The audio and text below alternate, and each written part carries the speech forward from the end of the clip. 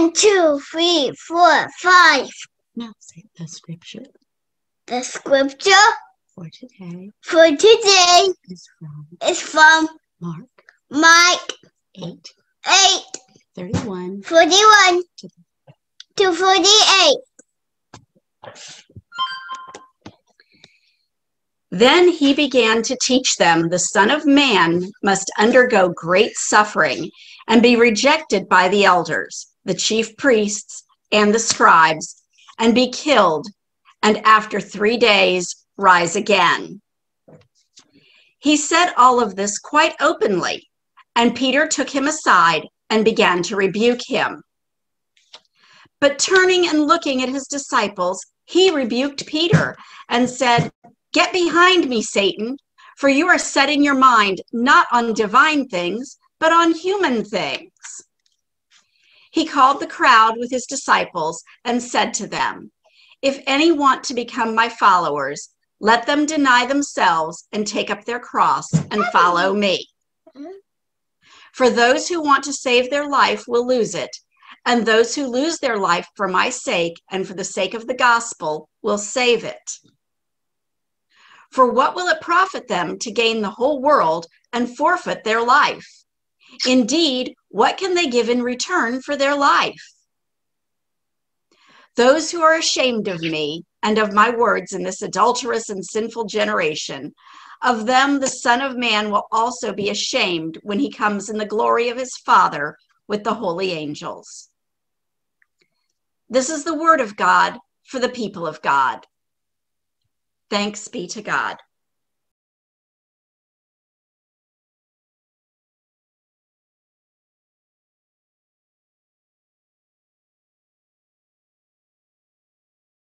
When I was in the first church that I served, I would go to Van Wert to get a haircut. And I found out early on when they found out that I was a minister, it would change the conversation. I found out that the barber would warn people when they came in that there was a clergy in the chair. So I quit telling people at barbershops that I was a minister because I found out you discover a lot about life as it really is in a barbershop if they don't know that a minister is present. But one time in the barbershop, the barber said, You know what I like about United Methodist? And I said, What would that be? And he said, They they force you to think. And I said, Oh, that's great. And he said, You know the thing I don't like about United Methodists? And I said, What? And he said, They force you to think. He said, Sometimes I think it would be better if they just said, This is how it is, and, and go on from there.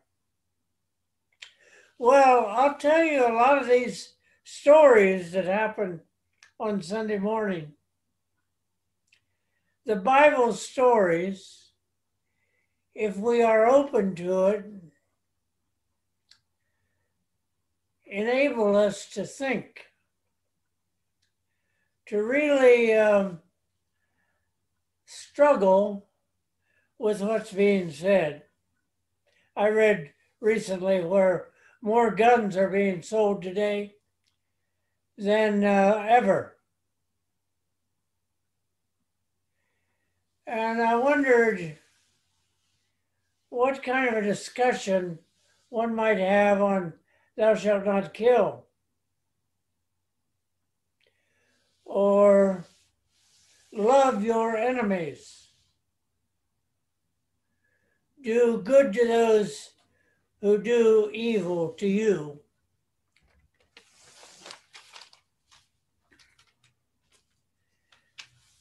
I'd um, I'd like to call your attention to today's scripture. Those who find their life will lose it, And those who lose their life will find it. Now, I was always taught that you be careful you don't lose anything. I, I noticed a couple pair of trousers that Wendy or somebody recently bought me have Velcro on the hip pockets. I think it's great to keep things in the hip pockets, but sometimes it's a frustration to get that Velcro apart to get out of what I need in the hip pocket.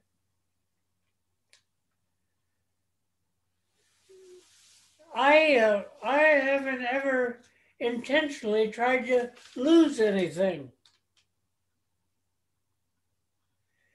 I mean, no one ever said to me, What are you doing? I said, I'm trying to lose my watch or I'm trying to lose this $10 bill. I just never did it. And yet, this lesson says if you lose your life, you will find it. And if you try to find your life, to keep it to yourself, you will lose it. Or take that story about the man who looked out his bedroom window and saw that his barns were filled. And he said, I know what I'll do. I'm going to tear down my barns and build bigger barns. And I will be content for the rest of my life. And it was then a voice said to him, Tonight your soul will be required of you. In other words, to say that the best planning sometimes is not taken into account that we're not always going to live on this earth.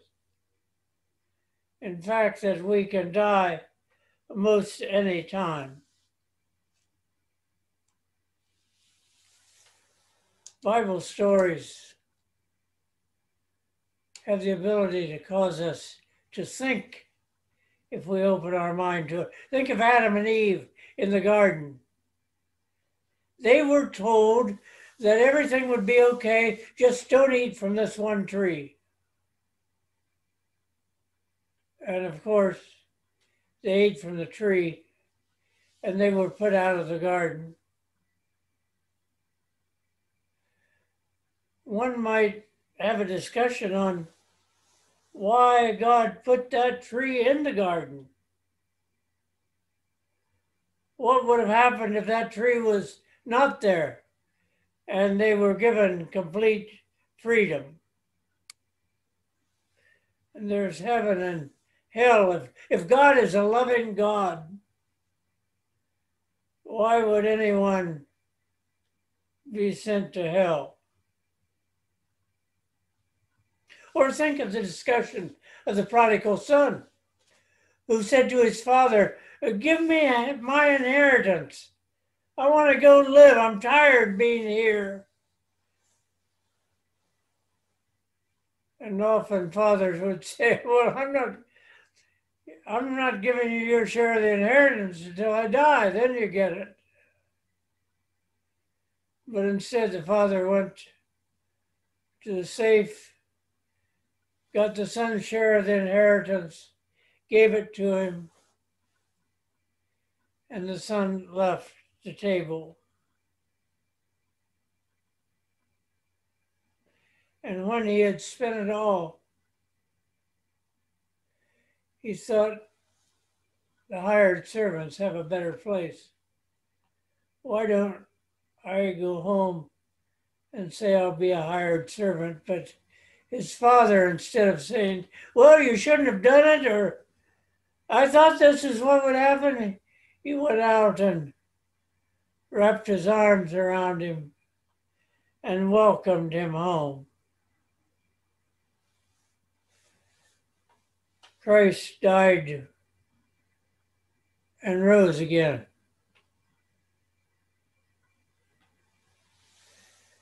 He left pretty quickly. There's a lot of controversy on whether he really rose from the dead. And while you're thinking about it, while you're you're struggling to understand the scriptures, sometimes asking questions like that, why didn't Jesus stick around a little longer, like maybe a year, so that people really understood that he was living? But he was here such a short time. And then again, he he disappeared to another place. And people were critical of Thomas because Thomas was not able to embrace the fact that Jesus had risen from the dead.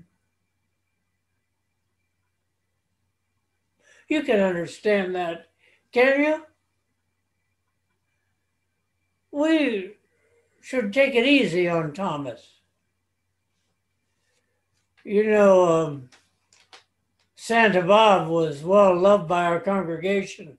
And I remember going to the funeral home and seeing him in a casket. And the service was held and he was buried. Well, if someone would have walked into Gates-Fourth Church and said, Hey, I just saw Santa Bob down at the restaurant. I'm sure that we rightfully so would have been critical. And it wasn't much different with Thomas. Thomas said, You've got to provide some proof. I've got to put my hand in his side and, and the nail prints in his fingers. And there was Judas talking about having a discussion talking about forcing us to think. If Jesus chose the disciples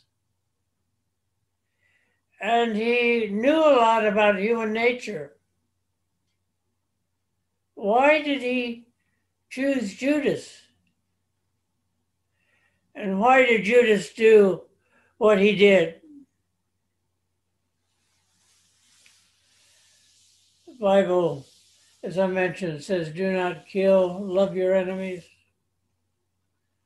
Why, those two things alone would take up a whole hour of Sunday school if we really talked about what they meant in this day.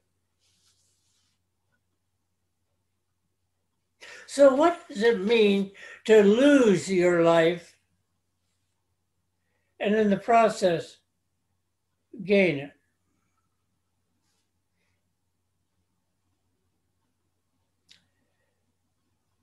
One year when I went to Haiti early on, I remember going into, well, walking a long distance from the city after riding in a vehicle, and then we walked through uh, much uh, land and finally came to this building that looked like it didn't belong there. It was a magnificent building, and someone says it's a hospital. It's the Albert Schweitzer Hospital. Larry Mellon of the Mellon family in Pennsylvania, had uh, most anything he would want.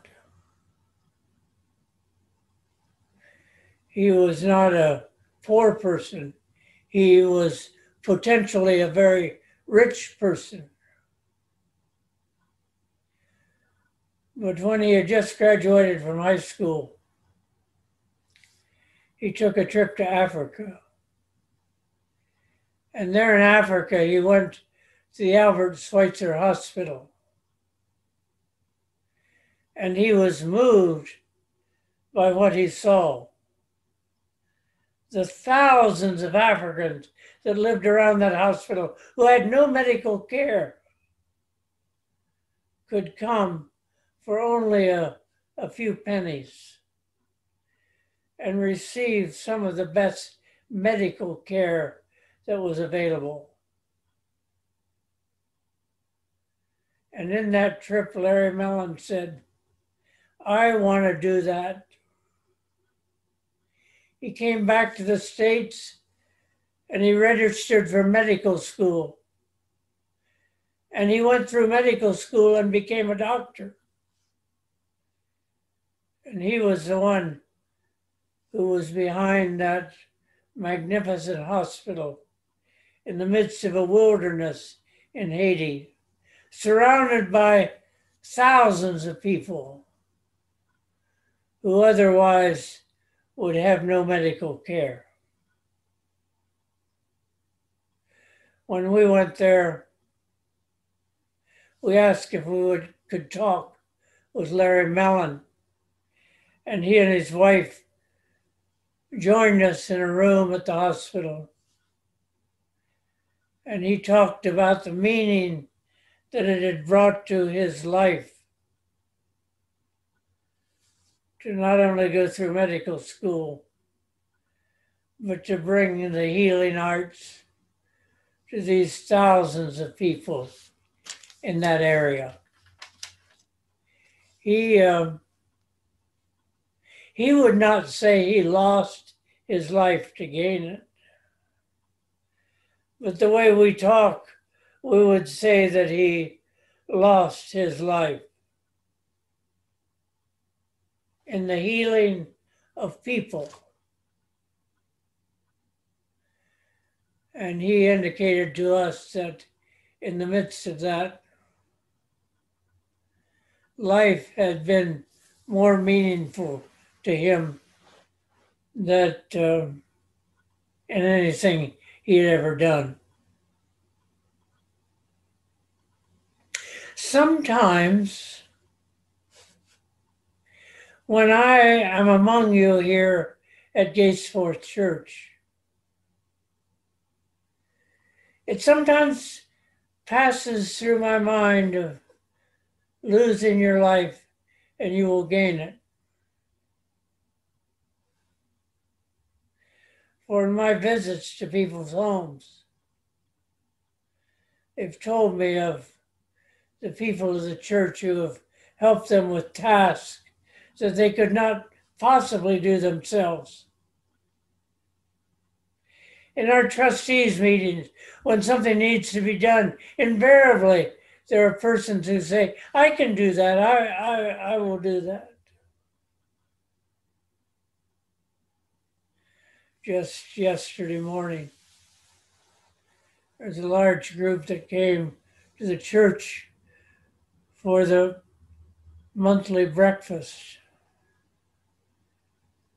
we could no longer have it in the church, but the food was handed out in large amounts as the people came to the front door of the church.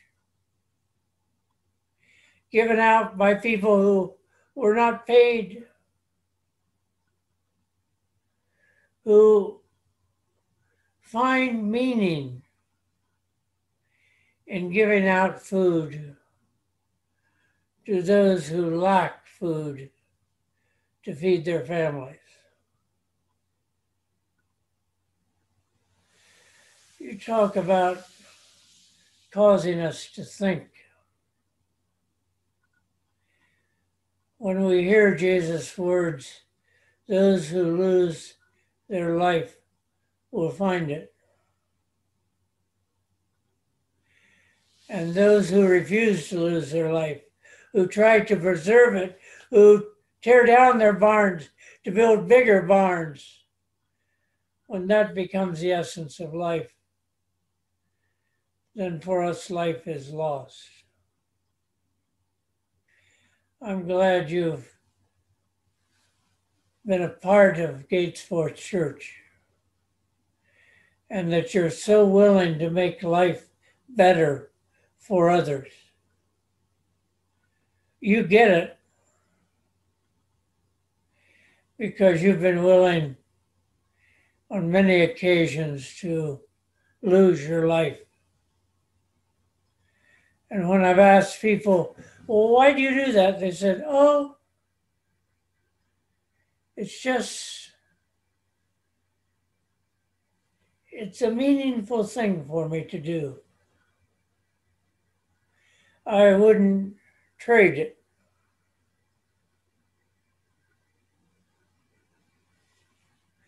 I remember the story of the person who was working in a hospital and cleaning up some horrible messes in the hospital. And somebody traveling through there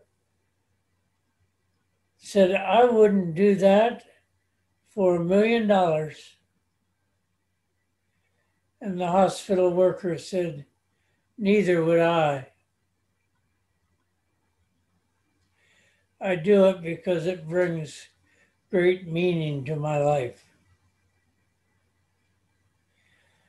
I want to say thanks to all of you who have found meaning in life by serving others. Don't ever forget that.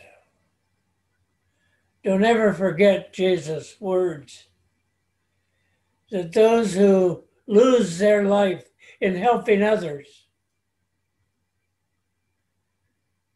will, in the end, gain their life.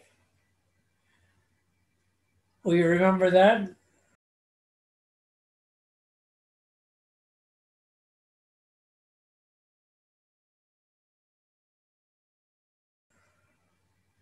Oh God, thank you for your presence with us. And thank you for teaching us from the Bible stories what makes life better, whole, meaningful. Thank you for teaching us that which will last forever. Amen.